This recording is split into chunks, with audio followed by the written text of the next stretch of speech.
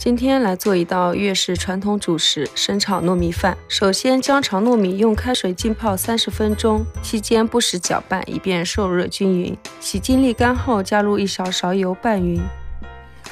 接下来将蚝油、生抽、老抽调和成酱汁。广式腊肠、腊肉切丁，干香菇泡发后去蒂。切小粒，香菇水备用。泡软后的虾米用手撕碎。热锅下猪油，放入腊肠、腊肉丁，小火煸炒出油，再加入香菇和虾米煸出香味，然后倒入糯米，保持中火不断翻炒，一直炒到米粒均匀粘裹油脂。加入两勺左右的泡菇水，继续翻炒至糯米水分变干，再次加入泡菇水。